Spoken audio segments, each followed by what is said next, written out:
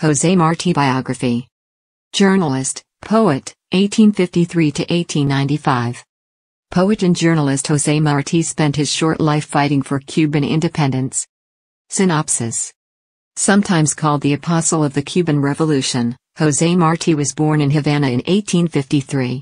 He showed a talent for writing and revolutionary politics at an early age. The famous patriotic song Guantanamera is adapted from his poetry collection Versos Sencillos and gained greater popularity in 1963 when it was recorded by folk singer Pete Seeger. First exiled from Cuba in 1871, Marti spent much of his life abroad. In 1895, he returned to Cuba to fight for its independence and died on the battlefield. A budding revolutionary. Jose Marti was born to poor Spanish immigrant parents in Havana, Cuba on January 28, 1853. Demonstrating natural artistic abilities from an early age, he originally pursued studies in painting before turning his energies to writing. By the time he was 16, his poetry and other work were appearing in print. At the same time he was developing his literary talents, Marti was forming his political consciousness as well. He was passionate about the growing revolutionary efforts to liberate Cuba from Spain, known as the Ten Years' War and soon devoted his skills as a writer to advance the cause. To that end, in 1869 Marti created the newspaper La Patria Libre, in which he published several significant poems, including the dramatic Abdallah, in which he described the liberation of an imaginary country. In exile. That same year, Marti's criticism of Spanish rule led to his arrest. He was initially sentenced to six years hard labor, but in 1871 he was released and deported to Spain. There Marti published the pamphlet Political Imprisonment in Cuba, describing the harsh treatment he had received in jail. While publishing his political writings, he also furthered his education, studying law at the Central University of Madrid and later at the University of Saragossa, where he completed his degree in 1874. By 1875, Marti had moved to Mexico, where he continued to campaign for Cuban independence. He contributed to several newspapers there and became involved in Mexico City's artistic community. But he soon became disenchanted with the country's government and moved to Guatemala in 1877. Marti became a professor at the Universidad Nacional, where he taught literature, history and philosophy. He also married Carmen Zayas Bazán. Our America. When the Ten Years' War ended with a general amnesty in 1878, Marti and Carmen returned to Cuba, where they had a son, Jose, that November. Marti initially attempted to practice law, but the government would not allow it, and he was forced to find work as a teacher instead.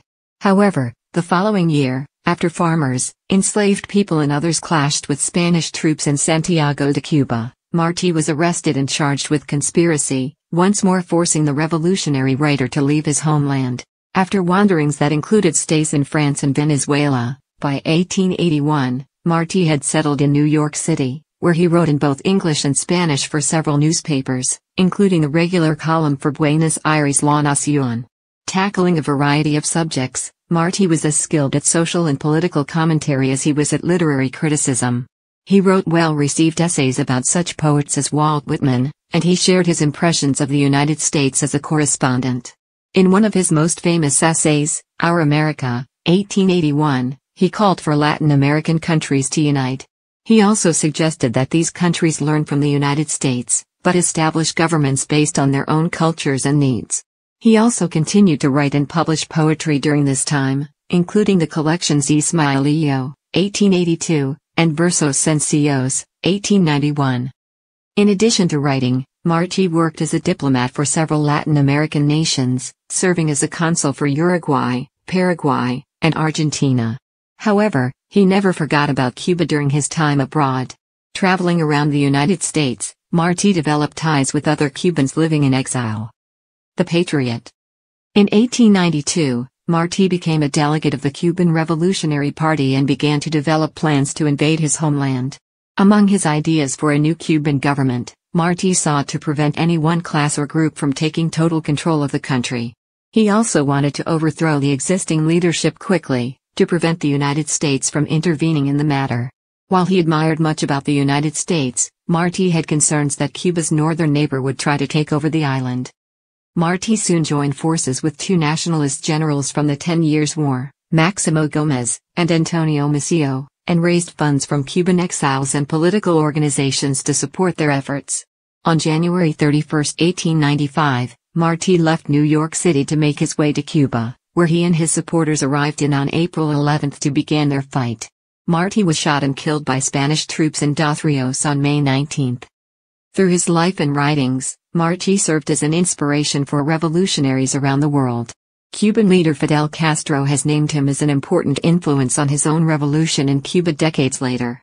Martí is now considered a national hero in Cuba and is honored by a memorial statue in the Plaza de la Revolucion in Havana as well as the international airport there that bears his name.